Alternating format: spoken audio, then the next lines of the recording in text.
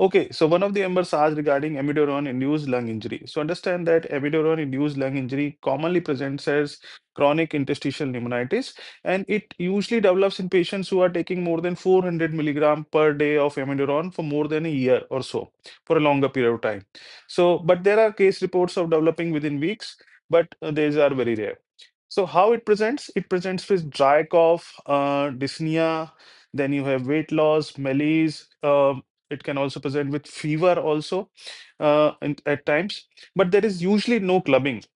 So how do you how do you suspect when these patients uh, present with these symptoms get an X-ray done or PFT with DLCO or CT scans? And once there is suspicion of chronic interstitial pneumonitis, the first thing is we need to stop the drug. But at times, because it has a longer half-life of somewhere around 45 days and it accumulates in the fat, so it continues to remain in the blood for a longer period of time. Therefore, uh, uh, the patient can continue to have chronic interstitial pneumonitis for a little bit more.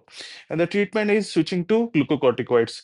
And glucocorticoids usually have a very drastic effect on, on this.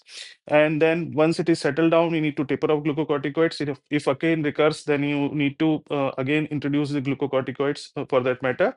And then we should not use amiodarone in such patients further. So uh, I hope this was helpful. Do read more about it.